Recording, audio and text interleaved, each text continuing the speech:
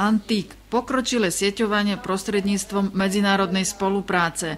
Takýto názov mal medzinárodný projekt, ktorý realizovalo Centrum obnovy a ochrany ľudovej architektúry a tradícií Gemera Alma v spolupráci s ďalšími ukrajinskými, slovenskými a norskými partnermi. Projekt bol spolufinancovaný z norského finančného mechanizmu a štátneho rozpočtu Slovenskej republiky v celkovej výške takmer 411 tisíc eur. A projekt má tri piliere. Má projektový, turistický a mediálny e, e, pilier a vlastne partnerov máme až šiestich. My, Alma Centrum, sme realizovali um, podujatia, festivaly. Mali sme dokopy sedem podujatí Tie podujatia boli pre rodiny s deťmi a vlastne sa odohrávalo všetko v rozprávkovom kráľovstve Slimačika Kraska. A cieľom tohto projektu bolo, aby sme e, koncepciu rozprávkového kráľovstva preniesli na ukrajinskú stranu. A teraz ako ku konci projektu môžeme povedať, že tu sa vytvorí e, rozprávkové kráľovstvo Ješka Jarka, ale medzi tým sa diali tie aktivity, ktoré vlastne podporovali jednak to naše už existujúce kráľovstvo a dávajú informácie pre tých našich ukrajinských našich partnerov, ako by mohli ehm, toto eh, rozprávkové kráľovstvo čiž eh, na Ukrajine eh, realizovať. Hlavným bodom projektu bolo vytvorenie pomyslenej cesty plnej rozprávok a dobrodružstva, ktorá prepojila Slovensko, Ukrajinu a Norsko. Cieľovou skupinou projektu boli hlavne rodiny s deťmi. V rámci turistického piliera sa konali rôzne informačno-propagačné a kultúrne podujatia, ako festival vyberania desiatkov, deň svadobných zvykov alebo deň slimačika kráska. Každý partner mal v projekte svoju úlohu a bol zodpovedný za realizáciu určitej aktivity. Občanské združenie Svet menšin malo za úlohu nielen medializáciu projektu, ale aj vytvorenie zaujímavých rozprávok pre deti. Našou úlohou bolo zmapovať aktivity, ktoré robil partner v Jablonove nad e, Turňou. A to sa nám podarilo, my sme tieto aktivity urobili, zmapovali, informovali sme o tom, či už v národnostných správach, alebo v ukrajinskom magazíne, alebo v niektorých ďalších programoch, ktoré patria k nám. Okrem toho sme e, pripravili 10 e, takých 10-minútových materiálov, ktoré sú na našej stránke a vlastne sú rozšíreným materiálom o tom, čo vlastne celý tento projekt Antik znamená a čo prezentuje. A samostatnú oblasť tvorí rozprávka, ktorú sme pripravili pre deti v hranej podobe, s pesničkami, s rekvizitami, so všetkým, čo k tomu pre deti patrí. Je to veselé, má to isté poučenie. Ďalším partnerom projektu Antik bolo občanské združenie Legend Photo, ktoré malo na starosti projektový pilier a vydavateľskú činnosť. Naša úloha bola v rámci toh, tých troch pilierov projektu, ktorý vlastne je projektový, mediálny a turistický, tak v rámci toho projektového sme vyvinuli taký software a nástroj na vyhľadávanie partnerov a projektových zámerov, ktorý teraz sa naplňa. Však sú aj príležitosti pre financovanie týchto projektov.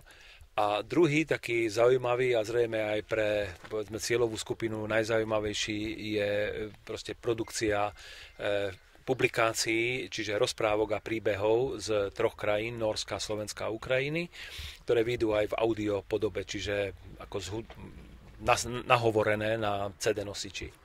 Ukrajinu v tomto projekte zastupovala Asociácia študentov ekonomov Zakarpátska, ktorá zabezpečovala plnenie cieľov projektu na ukrajinskej strane projekt Antik, ktoré sme sa zúčastnili. Je veľmi ako na náš vzor je úspešný projekt. E, keď tak stručno, tak môžeme povedať, že v rámci toho projektu máme tri také piliery. Jeden to je turistický pilier, iný to je projektový pilier a mediálny pilier.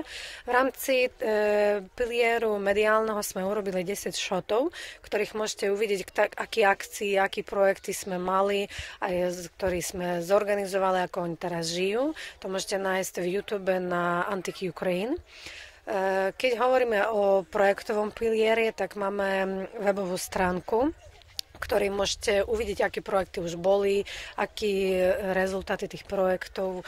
E, tiež môžete nájsť partnerov, ktorí majú taký zájem o projektoch takých alebo nejakých iných, aj ideí k novým projektom. To tiež môžete nájsť na tom sajte.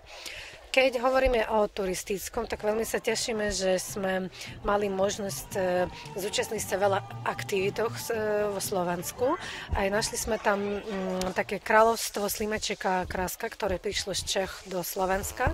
A teraz sme urobili také zhruba, samozrejme, že sme na začiatku, tak len začíname, také kráľovstvo Ješka Jarka ktoré už bude fungovať aj vo Zakarpátsku. K tomu sme pripojili 4 dediny Užhorodského okresu, to je Časlivci, Sredne, e, Andrijivka i Cholmok.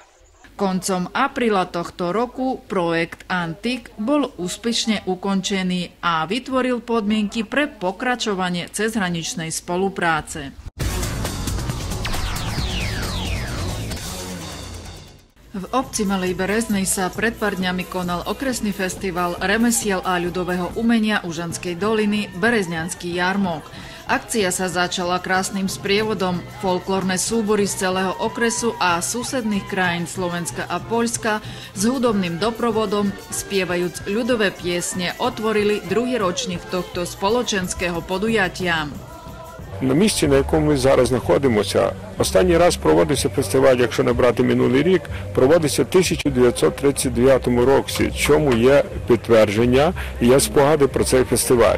Prednostovi Veľkobrezňanskej rajonnej rady som ukázal kalendár, ktorý je z roku 1925, kde už tam sa píše, že v podkarpatskej Rusii bolo v tom čase boli 4 jarmarky priebehu jedného roka. Bolo to vo Veľkom Bereznom.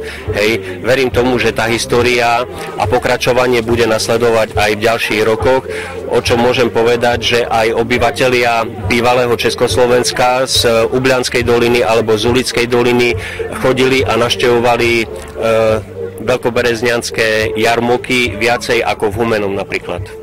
Akcia sa konala za podpory okresnej rády a jej cieľom je oživenie a zachovanie ľudových tradícií. Ну, по-перше, що ми прагнемо відновити історію. По-друге, це показати нашу духовність, нашу культуру, наші традиції, нашу самобутність, все, що збережено і передано нам, нашими прадідами, дідами, батьками.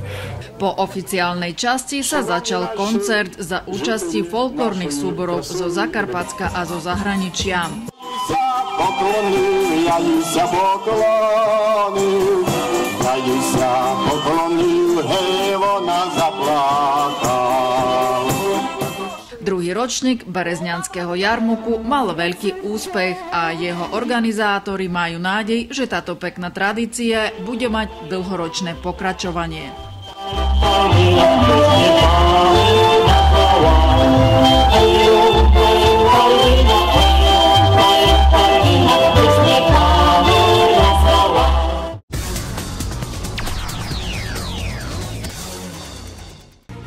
Mlínsky náhon v Košiciach po rokoch, kedy skôr hýzdil centrum mesta, konečne dostal podobu, ktorá lahodí ľudskému oku. Po vodnej hladine plávajú mini záhony upravené v štýle francúzskych a anglických záhrad. Kvetenu proti náletom vtáctva chránia sieťky, dotieravcov z radou ľudí odrádza od zasahovania do umeleckého diela nie najčistejšia voda hornádu, ktorou by sa museli prebrodiť. Tvorcovia pamätali aj na priebežnú obnovu neobvyklej prírodnej inštalácie. Aj preto sú kvôli lepšej prístupnosti záhradníkov pripravené pre nich rybárske čižmy a rebríky. A kto stojí za týmto neobvyklým počinom? Je dielom slovenskej umelkyne Ilony Német, pre ktorú je voda miestom, kde môže relaxovať.